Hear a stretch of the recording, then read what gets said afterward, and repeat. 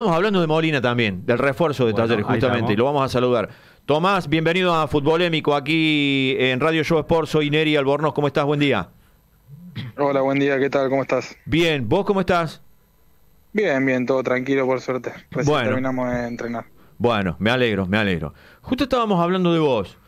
¿Cómo- Tomás, ¿cómo te has sentido en esto? Bueno, estos, no sé si decir primeros partidos, porque tampoco es tanto lo que has jugado, pero, pero ¿cómo te has sentido vos las veces y los minutos que te ha tocado entrar al equipo?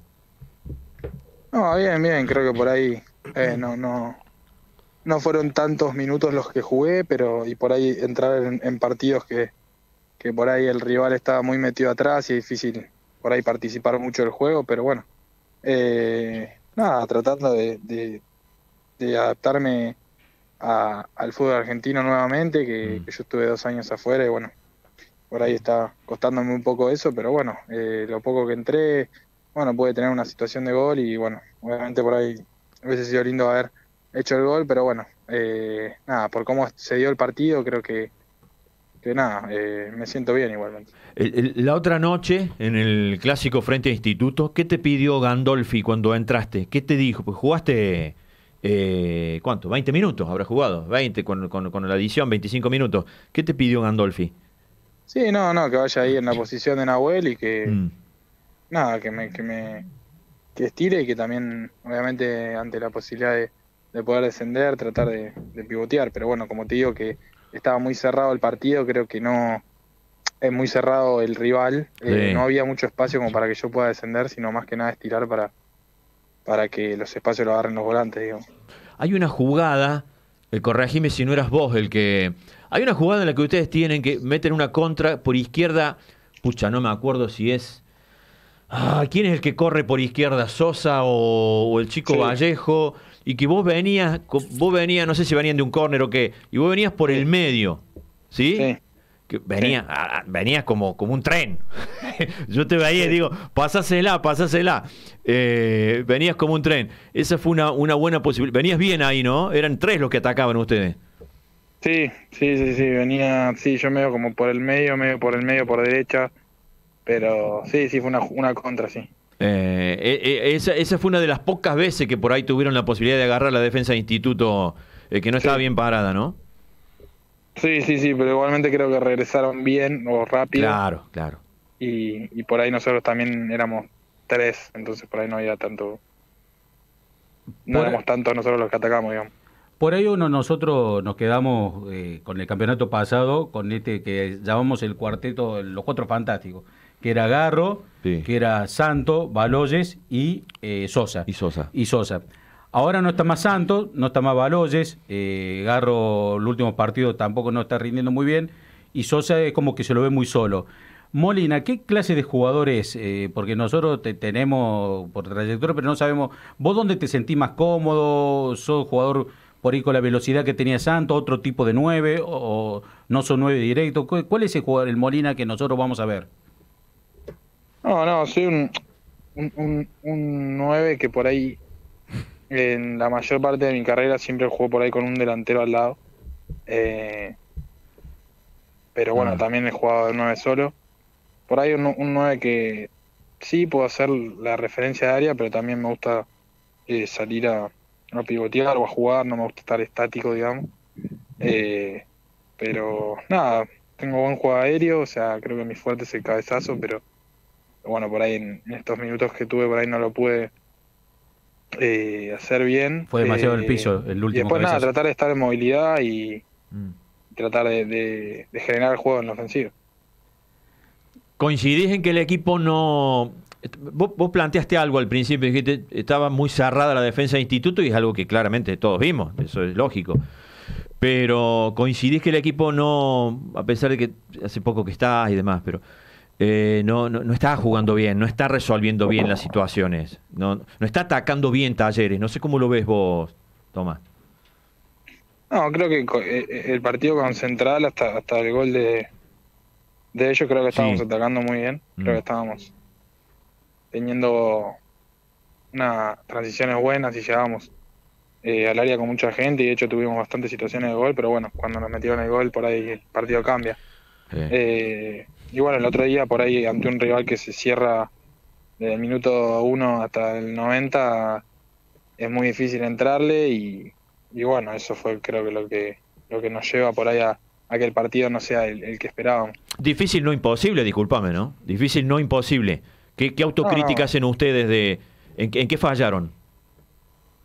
No, bueno, sí, obviamente no, es imposible, ¿no? Pero, pero sí es difícil porque por ahí vos jugás de una manera y, mm.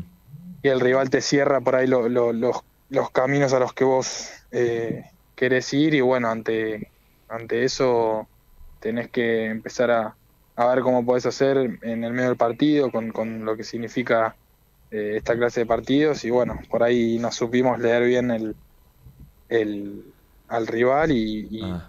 y, creo que no por ahí no, no atacamos de la forma en, en la que podríamos haberlo hecho. Julio. Eh, sí, Tomás, ¿cómo te va Matías? Eh, Matías Juez te saluda. Eh, bueno, hace, hace minutos estábamos eh, charlando y debatiendo el partido que venimos de ayer. Yo decía que me dio la sensación que habías entrado con, con, un contexto complicado del partido y que, y que habías, no habías entrado bien. no, no, no te vi bien, te, te vi, digamos, entrando en un contexto complicado. Eh, ¿Estabas listo para jugar? ¿Crees que, que, necesitas más tiempo todavía de esto de lo que vos estás diciendo, ¿no? De, de, la adaptación. Sí, sí, eh, obviamente, no sé, lleva, lleva su tiempo, pero bueno, yo ya estoy acá entrenando hace dos meses más o menos y bueno, nada, obviamente está toda la posibilidad de, de entrar, estoy concentrado siempre en los partidos y bueno, nada, por ahí, como te digo, el partido lleva a que, a que te digo, no toque muchas pelotas o, las que toque sea siempre con, con la marca encima y por ahí una pelota medio sucia y eh, sí, por ahí toqué cinco pelotas, toqué dos mal y sí, no entré bien, pero creo que si entraba el, el cabezazo todos estarían hablando de otra cosa, pero bueno, nada, es así el fútbol y nada, eh, creo que me voy a ir adaptando y seguramente con con el correr de los partidos. En todos lados donde, donde estuve, siempre eh, nada, me tocó arrancar por ahí de atrás o, tratar de, siempre donde estuve me tocó, me tocaba adaptarme y siempre me pude adaptar bien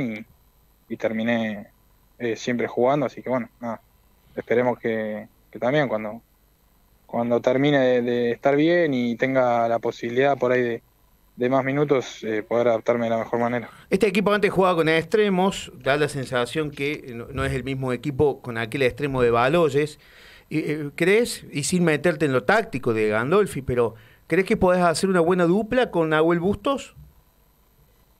Sí, sí, obviamente, porque él por ahí es un delantero que, que se tira muy bien atrás, a los costados, tiene mucha técnica, hace buenos movimientos y, y obviamente para un delantero cuando juega con un delantero al lado creo que no te digo que es más fácil pero es más eh, por ejemplo los, centrales se tienen que preocupar por dos delanteros y no por uno el movimiento del otro delantero hace que te libere un espacio eh, siento que a cualquier delantero que le preguntaste va a decir que prefiere jugar con un delantero al lado. Claro pero toma pero también en esto de si jugaran los dos juntos haría como que vos jugaras como más nueve referente de área por una cuestión física también estoy hablando de esto. Sí, sí, puede ser, puede ser, sí.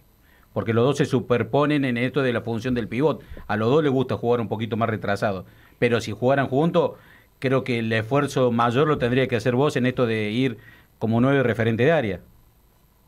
Sí, sí, sí, obviamente. Por eso te digo que, que Nahuel es más de, tirarse eh, atrás y, lo, hace muy bien. Y bueno, obviamente ahí me, me tocaría a mí eh, quedarme más como, eh, La última, la última. en el cabezazo, ¿vos, buscaste que fuera de pique al suelo o te salió, en realidad buscaste otra cosa y cabeceaste mal y, y pico?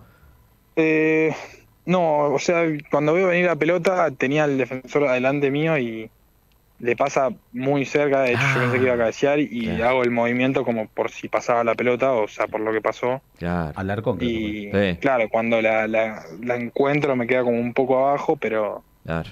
Pero claramente cla- no cabeceó bien y la pelota pica en el piso y se va para arriba.